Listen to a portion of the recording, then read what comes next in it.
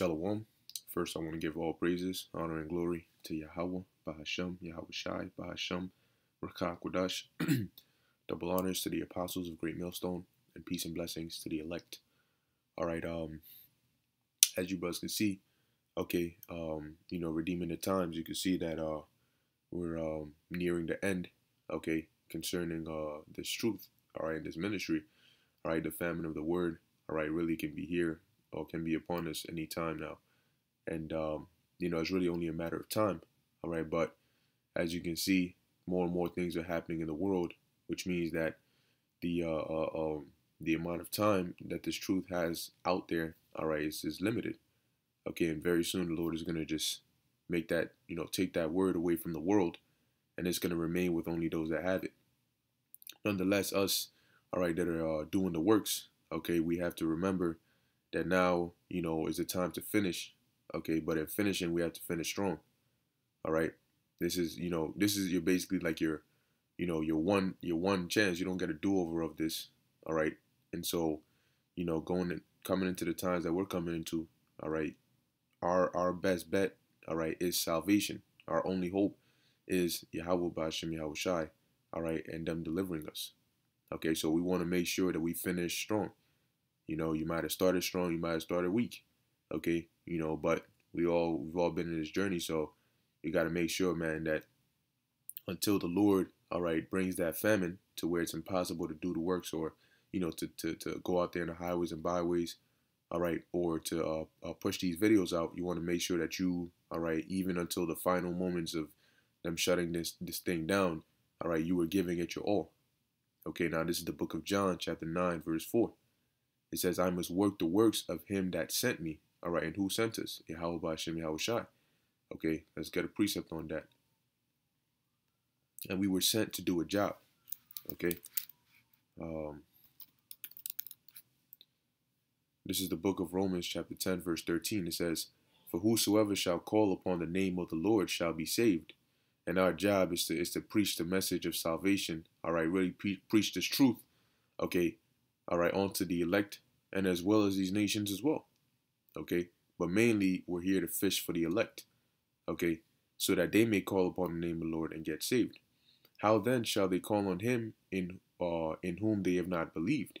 And how shall how shall they believe on whom on him of whom they have not heard? And how shall they hear without a preacher? Okay, it says, and how shall they preach except they be sent? As it is written, How beautiful are the feet of them that preach the gospel of peace and bring glad tidings of good things. Okay, so we are what? We are sent, all right, as it says here, uh, I must work the works of him that sent me. Okay, so we've been sent to come and do a specific work. And that is the main focus. That is the goal and the focus from day one until the Lord closes this thing. Okay, we're not here to do our work, so our will. We're here to do the Lord's will. Okay, so that means we go by his program. It says, While it is day, the night cometh when no man can work. So you don't want to wait till the night comes before you you now oh now I'm ready to do the you're not gonna have the opportunity to. So you gotta take the opportunity now, okay, and give it your all. Whatever reserves you got, you just put it out there, man. All right, and start, you know, putting it to use.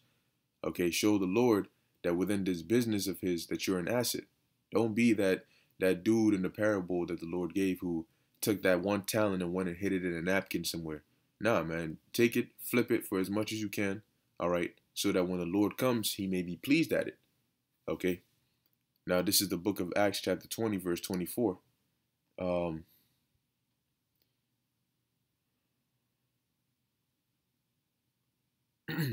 all right, this is uh, Acts 20 and 22. It says, And now, behold, I go bound in the spirit onto Jerusalem. This is, I believe, this is uh, the Apostle Paul speaking. It says, Not knowing the things that shall befall me there, all right, save that the Holy Spirit witnesseth in every city, saying that bonds and afflictions abide me.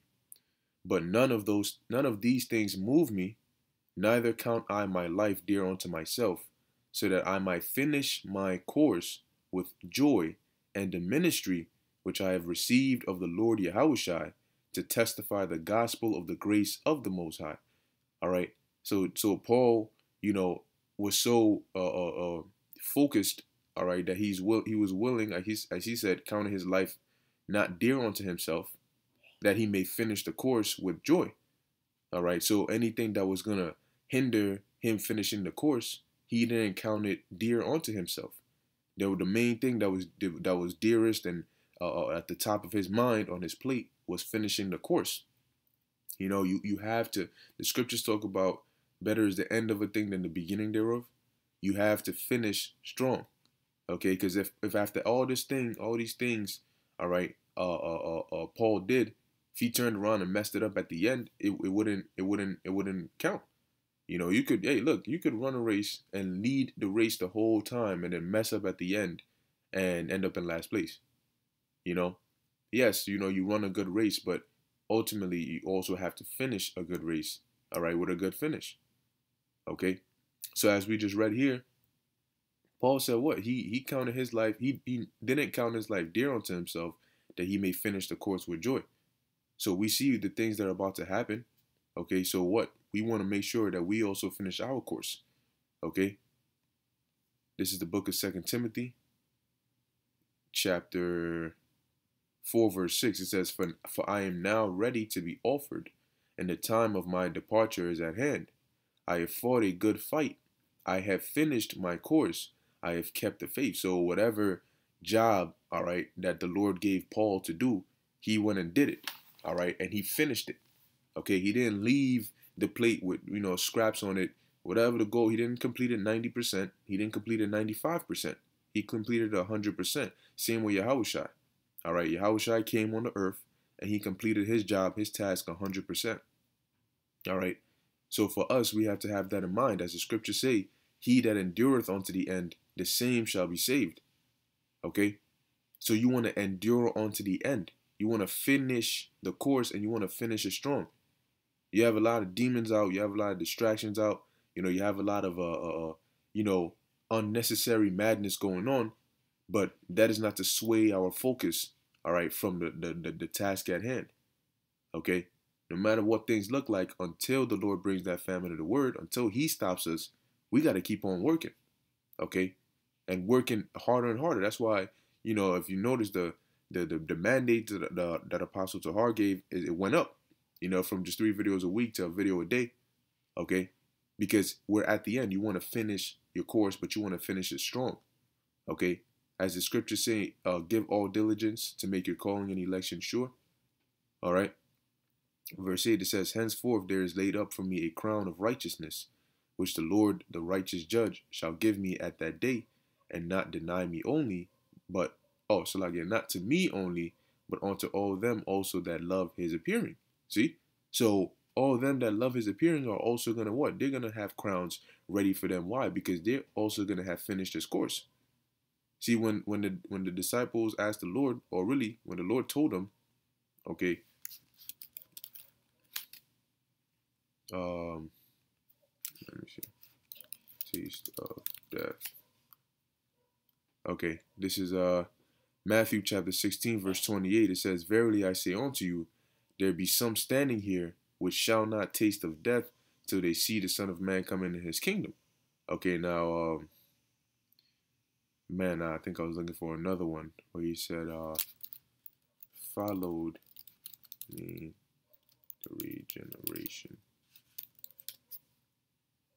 There it is. This is when the Yahushua was asked uh, by Peter. I'm going to read it. Matthew 19 and 27. Then Peter then answered Peter and said unto him, Behold, we have forsaken all and followed thee.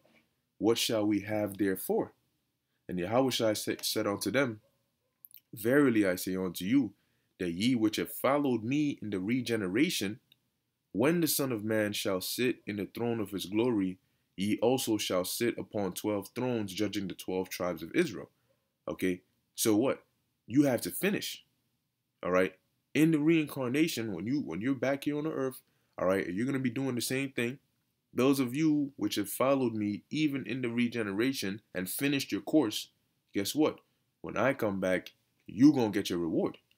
So we have to be of that mindset that hey, you know, through the different uh, uh, uh, incarnations that we've been in, we've been doing this work. We've been continuously running the race. Now is the time that all the different prophets of old saw Okay, and we're living it. All right, so we got to make it count.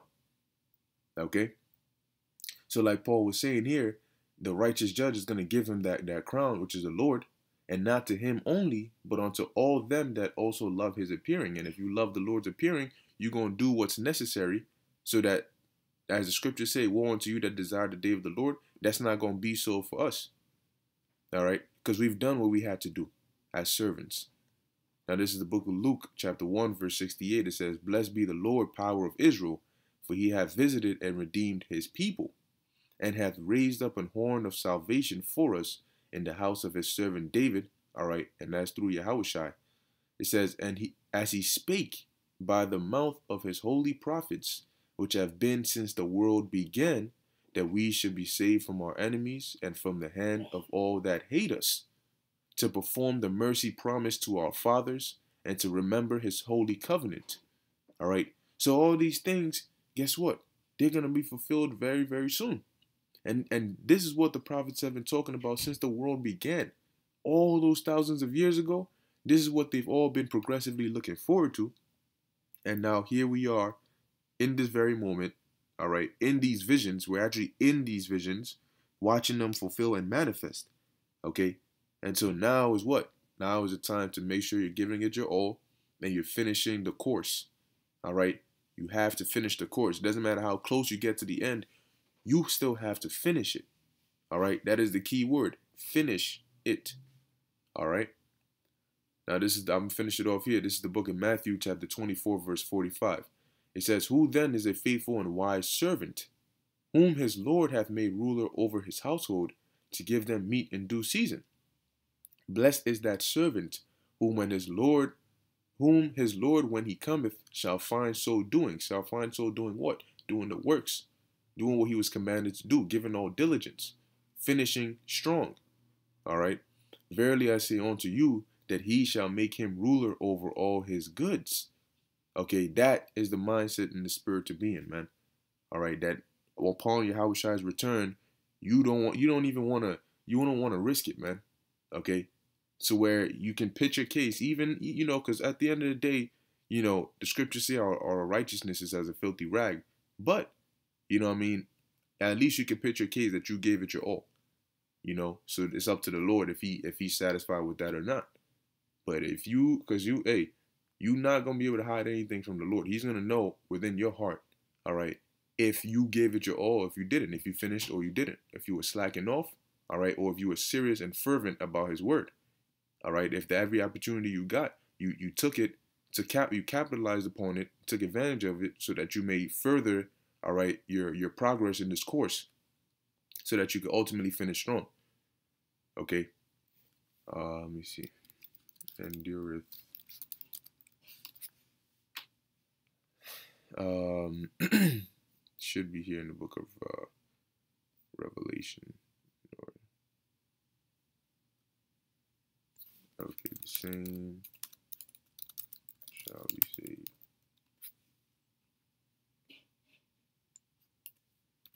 Hopefully I can find it. Okay. All right. Matthew. All right. This is Matthew chapter 24, verse 13. It says, But he that shall endure unto the end, the same shall be saved. All right. So that means what? You finish your course. Let's look up the word endure. it says, uh, hupomeno. All right. To remain, to tarry behind, to remain, not recede or flee to persevere under misfortunes and trials, to hold fast to one's faith in Hamashiach, to endure, all right, uh, bear bravely and calmly ill treatments, all right, and so that goes into what? Finishing your course. As Paul was mentioning earlier that we read, regardless of what was going to happen to him, he counted his, he didn't count his life dear that he may finish his course, all right. So with that, I hope this was edifying and exhorting unto the elect in closing, I want to give all praises, honor, and glory to Yahweh, Bahasham, Yahweh Shai, Bahasham, Rakah, Kodash. Until next time, Shalom.